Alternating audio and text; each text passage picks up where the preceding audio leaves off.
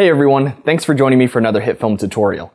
Today I'm going to be showing you how to use the new Puppet tool to put together an animated holiday greetings card. This effect is only in the latest version of HitFilm Pro. I'll start by showing you how I animated the snowman. In this sequence, it's easier for me to organize if the elements are animated in their own composite shots. Right-click on the picture in the Media panel and select Make Composite Shot. In the Effects panel, search for Puppet and drag it onto the picture layer. The only option you have is to first generate the mesh. The puppet effect reads the alpha channel of the picture or video to determine where the anchor points will be. Since my snowman is a PNG, there is a transparent background, which is what we want. After generating, you should see thin green lines running all across the image, but not outside the boundary of the picture itself. If you need to fine tune the area, you can adjust the expansion or tessellation. The number of points slider determines how many anchor points are generated for the Puppet tool to work. In this case, I'll need 7. Once I type that in and hit enter, another list will be created here. You can adjust the position of the points from these controls, or from the middle of the viewer, which is where they all appear. Drag the points from the middle one by one, and place them where it makes sense for your character usually at the joints and ends of hands or legs. With my anchor points in place, come back into the controls and change the mode to animate. You should now be able to drag the points in the viewer and see the movement applied. To apply the animation throughout the video, we're going to use keyframes, just like every other effect in the software. Drop down the control points and find whichever is affecting the hand. Activate keyframes and move forward a little. Move the hand in a waving motion, and then do the same in the other direction. Copy and paste the keyframes across the entire video, or just a specific section if you wish. This is the basis of all the animation in this greeting card. Depending on the complexity of the image, there may be more or less control points that have all been keyframed to work together. The pine trees, for example, have only four control points, and one that is keyframed. The Santa sleigh has six control points, with all of them keyframed to move up and down at different intervals. The lights on the house here use the puppet tool as well, but they aren't animated. I used several control points to bend the picture to the correct shape.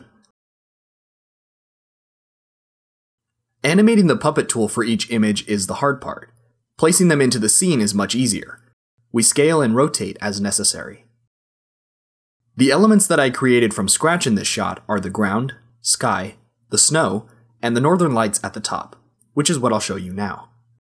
Similar to the puppet animations, this effect was in its own composite shot. Drag the particle simulator into the timeline. Under General, set the time shift to negative 5 seconds to see them at the start. In the emitter category, Let's change the shape from point to quad, so that the particles spawn in a rectangle. Adjust the width to cover the screen, and the height as you see fit. Change the trajectory to cone to have them move in one direction. Position the emitter to where it will be in the final scene. Down in the movement section, reduce the speed a little bit. Right now the particles are popping in and out. You can change that by selecting the particle system and going up to the lifetime panel. Under alpha, change the type to gradient. Move this square to the beginning and change the color to black. Click under the bar to create another point in the middle and make it white.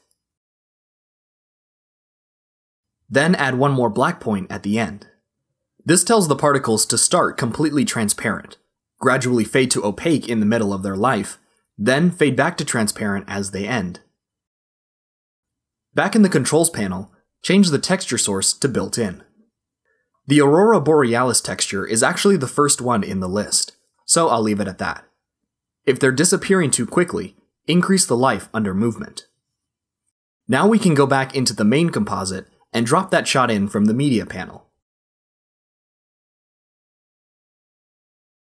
I use the Light Sword Ultra Glow Only effect to give the light some color. The inner glow will be set to white, and the outer glow will be the green color.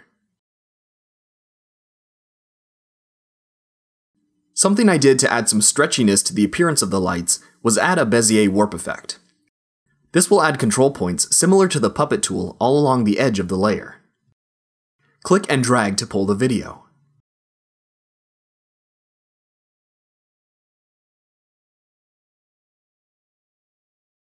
I'll finish off the northern lights with an anamorphic lens flare effect. The default setting works pretty well in this case. The flares are vertical and not too flashy. To overlay onto a card, I'll create a new composite shot and drop my texture in, followed by the animation comp. For this scene, the blending mode that worked best was multiply. Now it takes on the texture of the paper below it. Scale it down a little for the edges to show, and create a new text layer. Select the text tool and type your title. The font I used was called Tangerine, and I got it for free from dafont.com. To make it stand out, add a drop shadow effect. Thanks for watching, guys. On behalf of the entire HitFilm team, I'd like to wish you a safe and relaxing holiday season. Let us know if you have any questions, and I will see you all in the next video.